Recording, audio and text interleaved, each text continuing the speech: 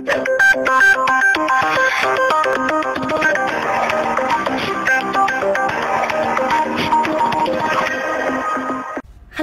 大家好，这里是听听娱乐八卦，我是小月。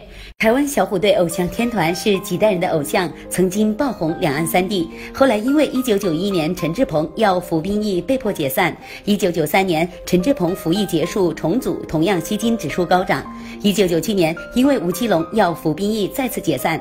2010年三人重聚上央视春晚，演唱了好几首曾经经典名曲，点燃了观众们的青春记忆。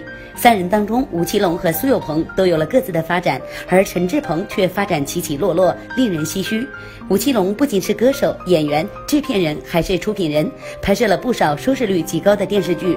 而苏有朋不断在演技上提升，如今跨界当导演，算是很不错的成绩。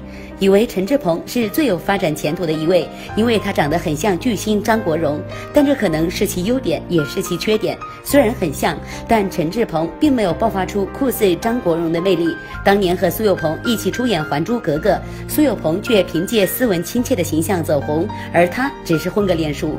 八月二十七日，久违的小虎队陈志朋以新歌 MV 里的一头绿发造型现身亚洲新歌榜。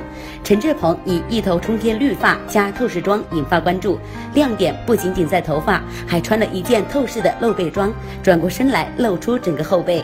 陈志朋这打扮比一些女明星还出位，背后几乎全裸，绿色冲天发型实在是辣眼睛，身材也不是很健硕，如此露背令人惊诧不已。毕竟不是小年轻，今年四十六岁的陈志鹏还如此放飞自我。可在某网友看来，陈志鹏一把年纪了还这样，别人都红了，怎么就他一个人没红？是人品问题吗？现在还要这样博眼球？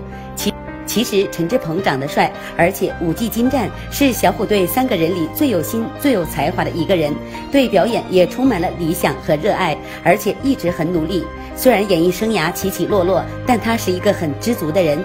只是没想到陈志朋的发展却是三个人中最尴尬的，是运气不好，还是没有遇到比较合适的作品，或者一直活在张国荣的影子里呢？但无论如何，陈志鹏是个比较低调的艺人，不善于炒作，可能也是他人气不高的原因之一吧。